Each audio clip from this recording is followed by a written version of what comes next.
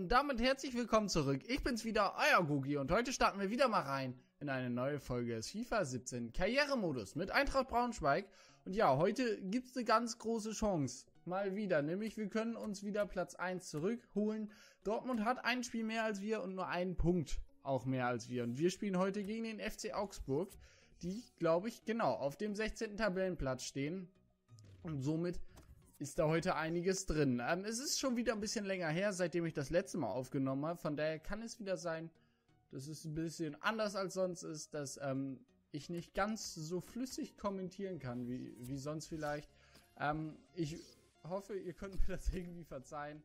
Ähm, ja, aber als erstes müssen wir mal ähm, noch ein bisschen was umstellen, nämlich ähm, die Mannschaft ist konditionell wie so oft wieder ein bisschen angeschlagen.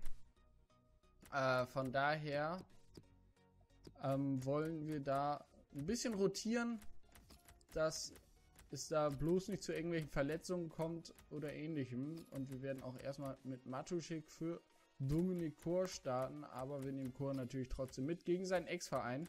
Er wird heute auf jeden Fall noch spielen. Ähm, und ja, so würde ich das Ganze erstmal belassen. Wir nehmen Boland noch mit für Ox.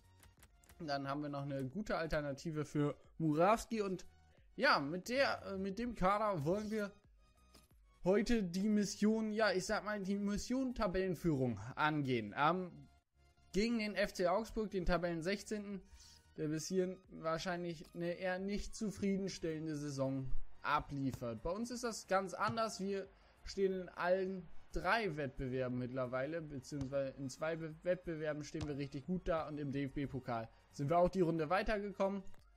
Ja, und von daher wollen wir es heute angehen, wollen den Sprung zurück an die Tabellenspitze schaffen. Dortmund hat uns da die Riesenmöglichkeit zugegeben und die wollen wir heute natürlich nutzen. Ja, mal schauen, was das für ein Spiel wird gegen den FC Augsburg. Ähm, wie gesagt, die äh, spielen bisher keine gute Saison und werden natürlich heiß sein, das zu ändern. Und daher schauen wir mal, was die Augsburger heute machen, was wir machen. Und damit starten wir rein. In, in die Partie des. Ist es der 10. Spieltag? Ich bin mir nicht ganz sicher. Ich glaube, es ist der 10. Spieltag. Und damit starten wir rein in die Partie gegen den FC Augsburg. So, wir kommen erstmal über Selke, über Matuschik, über Gnabry. Da oben geht Tobias Winter.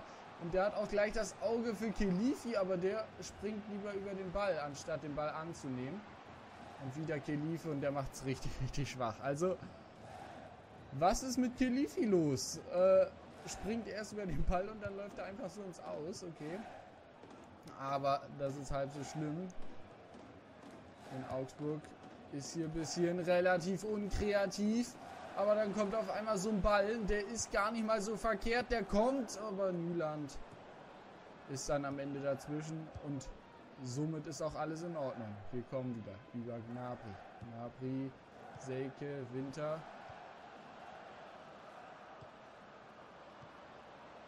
Wir kommen da gerade nicht so richtig gut durch, so wie ich mir wünschen würde. Matuschik. Matuschik, aber auch der verliert hier den Ball. Also Augsburg steht da hinten wirklich gut. Das kann man nicht anders sagen. Kajubi ist es. Staphylidis. Matuschik kommt da nicht an den Ball ran, verliert das Kopfballduell. Wieder ist es Kajubi. Also Augsburg macht hier doch relativ soliden Eindruck. Wir kommen über Winter. Der eigentlich mit einer guten Idee, aber Katscha ist dazwischen und kann den Ball in die Spitze auf Davy Selke erstmal verhindern. Wieder Katscha, Parker. Und Kelifi ist diesmal ganz gut dazwischen und dann gibt es erstmal Einwurf für den FCA, Teigl. Aber Augsburg macht defensiv zwar einen ganz guten Eindruck bis hierhin, würde ich sagen, aber offensiv sind die mir ein bisschen zu unkreativ, muss ich ganz ehrlich sagen. Also da kommt bis hierhin noch nicht allzu viel. Und dann sage ich es wieder und dann kommt ein ganz guter Ball auf Vollner. Aber am Ende können sie es nicht nutzen. Gnabry und dann gibt es den Einwurf. Und wenn Gnabry sich da jetzt ein bisschen beeilen würde, dann gäbe es da auch eine ganz gute Möglichkeit, weil Augsburg war da ein bisschen langsam in der Situation. Winter. Wieder Gnabry. Selke. Sucht die Anspielstation, aber da ist gerade irgendwie keine. Gnabry, äh, Selke sage, ich sag schon Gnabry. Winter mit einem guten Ball. Gnabry. Gnabry macht das stark. Nimmt Winter mit und der mit einem guten Schuss und nochmal Kilifi mit der Riesenmöglichkeit. Da haut der Tobias Winter einen raus. Unsere aktuelle Nummer 10 vertritt ja den verletzten Kerim Demir bei. Aber mit einem richtig, richtig guten Ball. Jetzt gibt es erstmal die Ecke. Winter. Die kommt eigentlich auch nicht schlecht. Aber Selke kriegt den dann. Ja, in Rücklage, so kann man es vielleicht sagen. Mit dem Rücken zum Tor.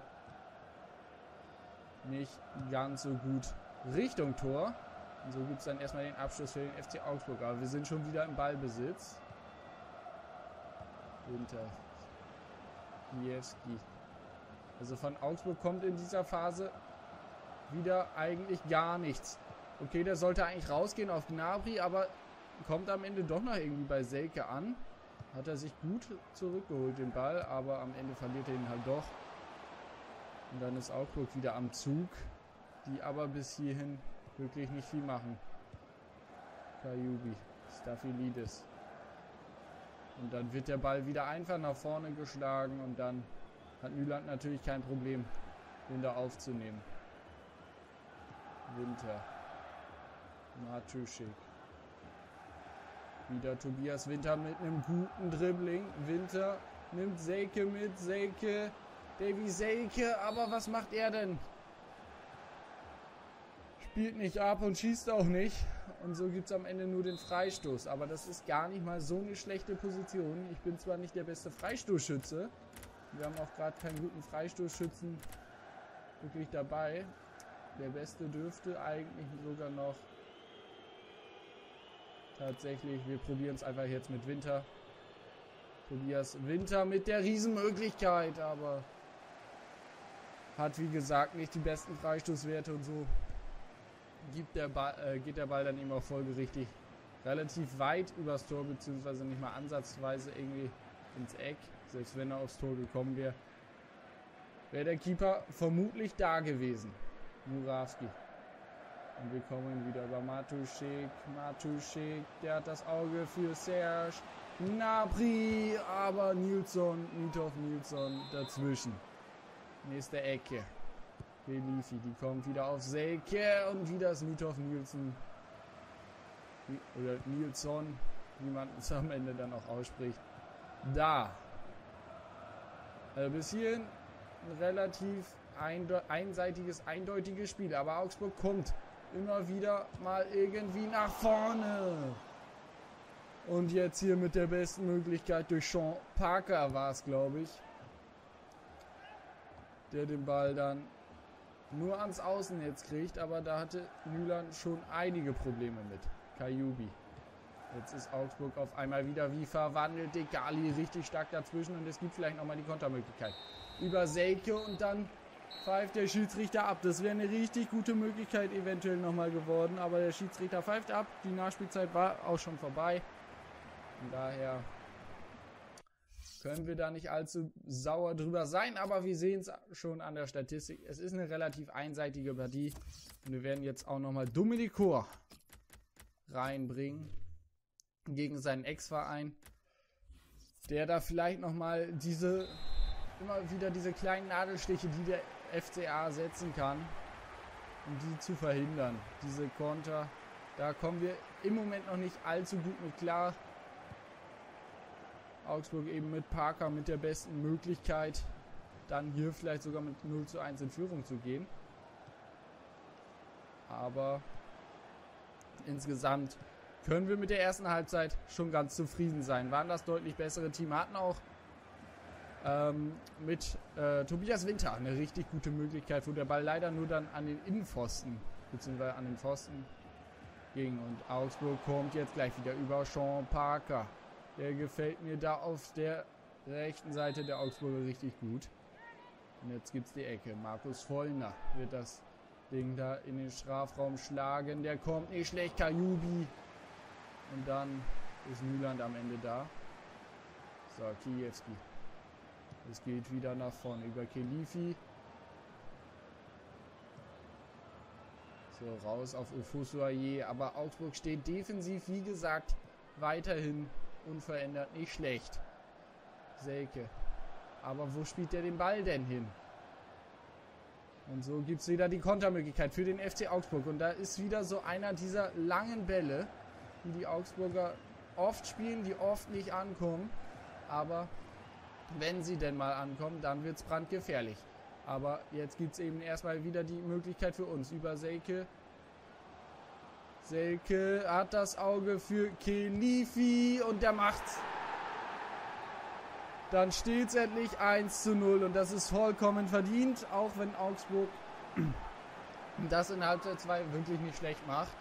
Aber Kelifi nutzt dann die Möglichkeit, Selke mit einem richtig guten Auge, mit einem richtig guten Ball.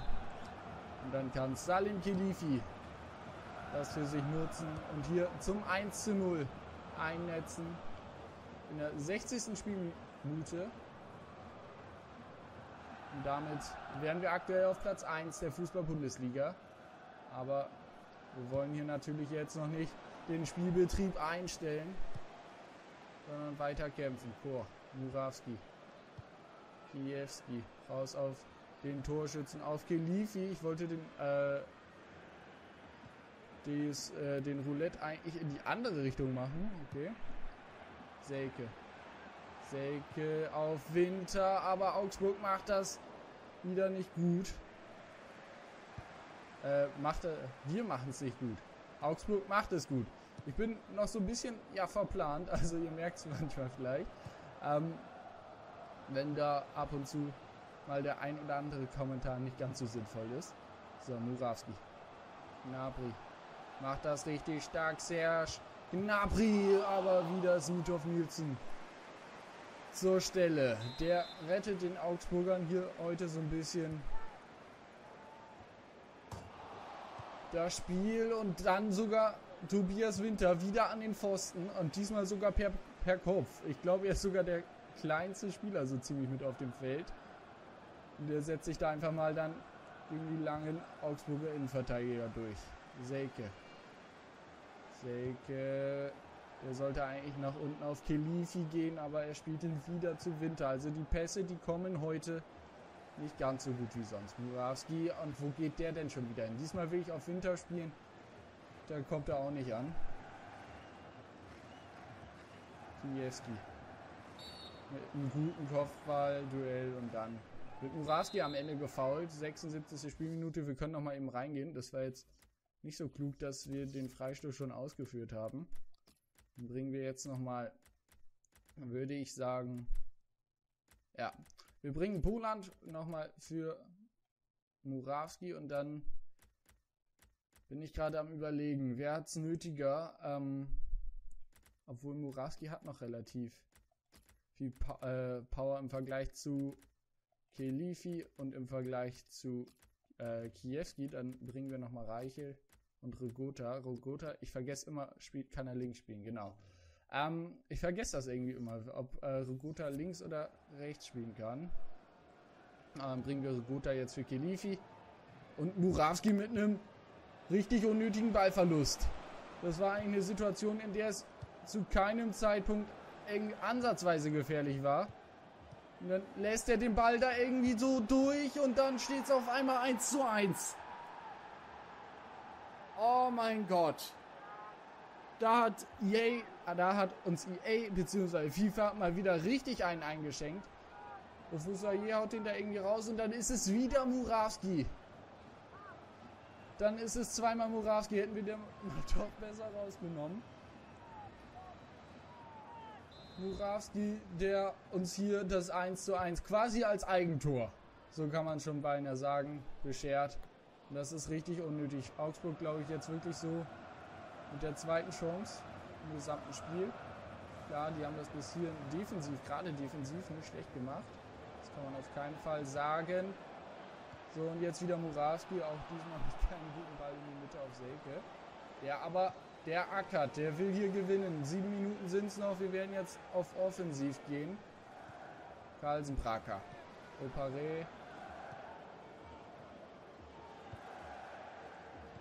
Boah, gut dazwischen. Gnabry. Aber dann verlieren wir wieder den Ball. Aber Selke, der fightet, der ist da. So, Selke und jetzt gibt es die Riesenmöglichkeit für Tobias Winter und der macht es natürlich. Unser Eigengewächs, unser Supertalent, unsere Nummer 18 und unsere heutige Nummer 10. Macht in der 87. Spielminute zum hochverdienten 2 zu 1. Und das Tor gehört zu einem großen Teil. Davy Selke, der hier heute fightet, der will gewinnen. Auch wenn Radoslav Murawski heute nicht ganz so aussieht, als wenn er gewinnen wolle. Natürlich kann sowas immer mal passieren. Jeder hat mal einen schlechten Tag, aber gleich zwei so wirklich richtig starke Böcke zu hauen. Und dann wird der eine sogar noch von den Teamkollegen geklärt. Und dann leistet er sich direkt danach noch einen, der führt dann letztendlich Postwenden zum 1 zu 1. So, wir sind aber schon in der Nachspielzeit. Augsburg macht hier irgendwie nicht mehr so den Anschein, als wollen die hier noch wirklich was reißen und so ist es. Am Ende pfeift der Schiedsrichter und es geht 2 zu 1 aus. Es bleibt beim 2 zu 1. Tobias Winter hat uns da am Ende ja wirklich den Arsch auf gut Deutsch gesagt gerettet. Und der hat sich das Tor auch verdient. Heute, glaube ich, zweimal insgesamt den Pfosten getroffen. Und dann am Ende macht er doch noch sein Tor. Da sehen wir es auch nochmal Pfosten. Also zweimal Pfosten von Tobias Winter. Und am Ende macht es noch. Und insgesamt geht das auch vollkommen in Ordnung. Augsburg insgesamt nur mit drei Schüssen. Ich habe jetzt gar nicht mehr geschaut, wie viele davon jetzt aufs Tor waren. Aber insgesamt ein hochverdienter Sieg. Ähm, hätte doch deutlich höher ausgehen können. Das Tor für Augsburg war doch recht glücklich. Und so stehen wir nach 10 Spielen wieder auf Platz 1 mit 26 Punkten. Hinter uns zwei Punkte. Da steht Dortmund äh, mit 24 Zählern und auf Platz 3 folgt dann mit 6 Zählern Unterschied der erste FC Köln. Ähm, so, wir werden jetzt nochmal eben die Trainingseinheiten durchführen. Die können wir auch, glaube ich, denke ich mal, bald mal wieder ändern. Ähm, und schauen, ob Gnabry, Winter, Ox noch das ähm, grüne Symbol haben. Ähm, weil so krasse Entwicklung gab es in der letzten Zeit eigentlich nicht mehr. Bei Gnabry, da könnte, ich glaube, er ist jetzt 23, kann das sein? 23, kommt das hin? Ähm, da könnte sich das grüne Symbol auch schon wieder verabschiedet haben. So, dem hierbei ist wieder bereit. Jetzt gerade, wo Tobias Winter so ein starkes Spiel gemacht hat. Ähm, da ist er wieder fit. So, dann werden wir ihn aber trotzdem direkt wieder reinpacken. Wird wahrscheinlich im nächsten Spiel nicht von Anfang an spielen. Und jetzt muss ich mal wieder schauen. Äh, ich glaube, wir hatten Boland rausgenommen. Genau. So ist der Kader wieder vollständig, äh, vollzählig. Demibay ist wieder mit dabei und das wird uns auf jeden Fall helfen. Ähm, auch wenn Winter zuletzt eben, wie gesagt, ein richtig starkes Spiel gemacht hat. Ähm, und eben buchstäblich ja dazu beigetragen hat, äh, dass wir gegen Augsburg diese drei Punkte noch geholt haben, weil er und Davy Selke haben da eigentlich die Offensive ja, allein betrieben. Khalifi hat zwar noch das 1 zu 0 gemacht, aber hat sonst auch nicht allzu viel dazu beigetragen. Hat zwar ein solides Spiel gemacht, aber nichts Überragendes. Währenddessen geht Hintermeier auf die 72 und ich habe schon wieder ver vergessen zu schauen, ob äh, Napri ähm, noch das grüne Symbol hat, aber gut. Ähm, dann simulieren wir jetzt erstmal weiter zum Spiel gegen Frankfurt ähm, und ja, äh, dann gibt es in der nächsten Folge das Eintracht-Duell gegen Eintracht Frankfurt ähm, in Frankfurt. Und ja, ähm, ich hoffe, es hat euch heute wieder gefallen. Wie gesagt, ich bin noch nicht wieder so ganz im Kommentar-Flow, nenne ich es mal drin. Äh, von daher hoffe ich, dass ihr mir das wieder verzeihen könnt. Ähm, es könnte auch nächste Woche sein, dass eventuell wieder äh, die Folgen mit einem Tag Verzögerung oder vielleicht auch gar nicht kommen. Ähm, weil es ist aktuell wieder ein bisschen stressiger, aber äh, die Woche darauf, da dürfte es dann wieder ganz normal weitergehen. Und von daher würde ich mich jetzt erstmal wieder verabschieden. Wie gesagt, ich hoffe, es hat euch heute wieder gefallen und von daher würde ich mich freuen, wenn ihr das nächste Mal wieder mit dabei seid. Und von daher bis zum nächsten Mal. Ciao!